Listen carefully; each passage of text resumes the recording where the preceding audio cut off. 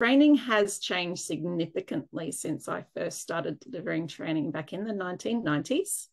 So there's a lot that's happened, particularly in that space of technology and the way that we do things. Everything when I first started, even though my teaching area was business and technology, we still had lots of paper.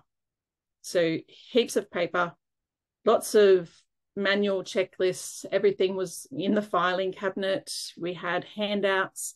And this is probably something from the, the perspective of digital literacy that I've learned over that period of time.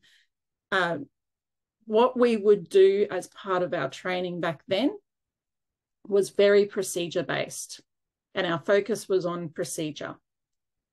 What I see now is more focus on the understanding and the underlying concepts, and that we can build procedure and steps and processes on top of that understanding and the underlying concepts.